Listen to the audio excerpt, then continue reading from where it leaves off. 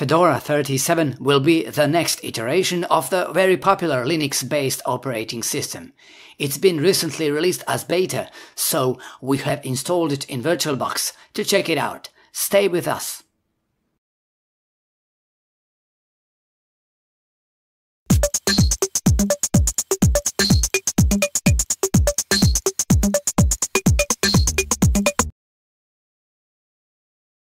Fedora 37 will be released in the second part of October, but it is already nicely shaping up, so we will highlight some of the things this increasingly popular operating system is bringing to end users.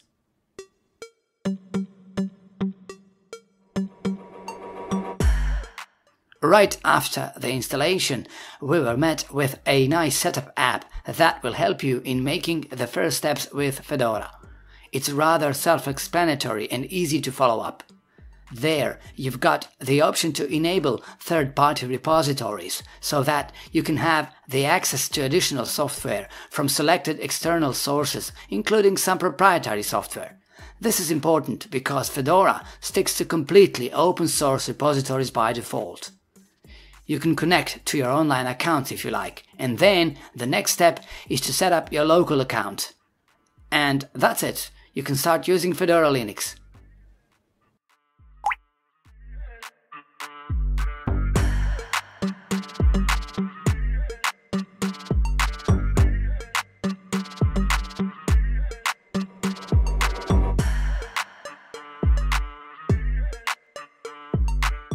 Fedora 37 also includes a nice and informative welcome tour, which will help you in getting familiarized with Fedora's design principles and how the system works.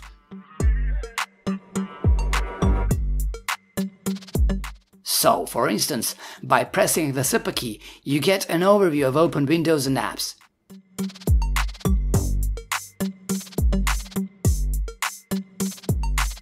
If you need to search for a file or an app, all you need to do is just start typing, as we did here for the Files application.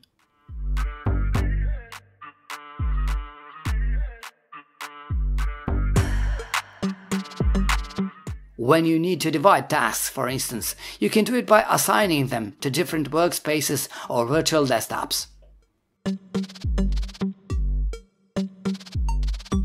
Fedora 37 also supports vertical and horizontal swipes on your touchpad, and that's basically it.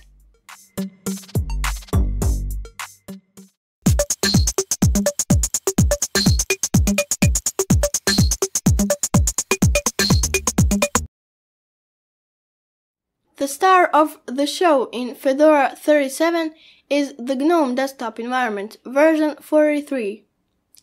In this release, the system tray area in GNOME 43 has got a visual refresh, so now it's got these pause-like buttons, and it looks a lot like an Android quick toggle bar.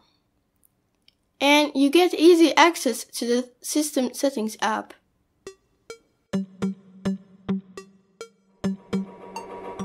Now, you don't have to enter the Setting app to switch the desktop theme. You can easily change it in the GNOME desktop menu in the upper right hand corner. There, you can turn on the night light mode too. Notifications and calendar are in the middle of the top bar as usual, while the activities button is still in the right hand corner. By clicking the app grid in the dock, you can access all of your installed apps.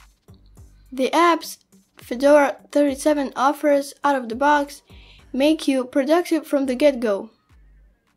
As always, the desktop is not active, but still, by right-clicking it, you can change the default wallpaper.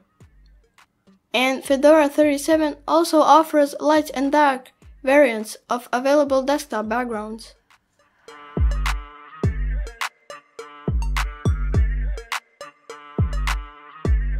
And as with any other Linux distribution we have tested so far, Fedora 37 Beta also offers updates right after the installation. Those include system updates, security and bug fixes, and performance improvements. When the process is finished, you'll need to restart and update your system.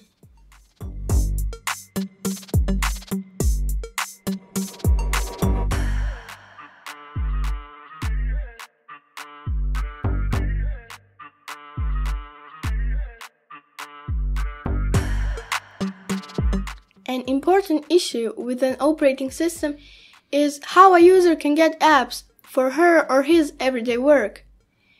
In Fedora's software app, a user gets a vast array of apps from Fedora's repositories. Third-party repositories are enabled too.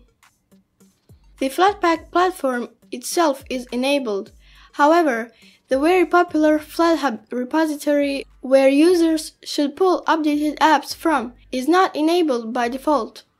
So, for instance, we certainly know that the Brave browser is available as a Flatpak application, but it cannot be found in Fedora's software app out of the box. That's why the easiest thing you can do is to visit Flatpak's official site and pick up the command needed to enable the FlatHub support in Fedora software app.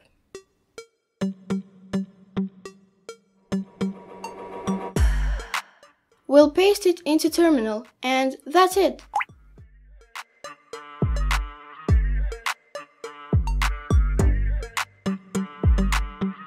Now, if you search for Brave browser in the software app, you'll find it there. As you can see now, Fedora's software apps repositories have one more row added after we have enabled the FlatHub support as well.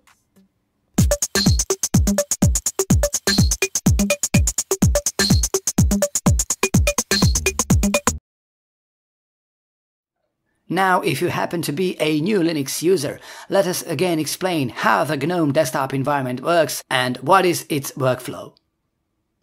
The problem for new users sometimes is the fact that Fedora and GNOME do not offer a minimize button by default, so you can't minimize your apps.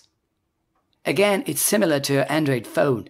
So, if you have multiple apps open, the way you switch between apps is to activate the overview by pressing the super key.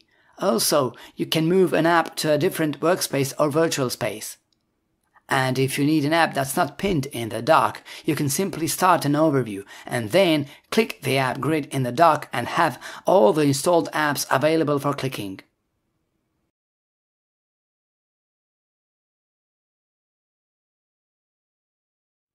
All in all, with this new release, Fedora is an even more polished and consistent operating system. Fedora, with its stock GNOME, is more and more on par with proprietary operating systems and desktop environments, and in our view, it has a look and feel of the finished article. What's your opinion on Fedora 37 and GNOME 43? Would you recommend it to new Linux users? Tell us in the comment section down below. Thanks for watching and see you next time.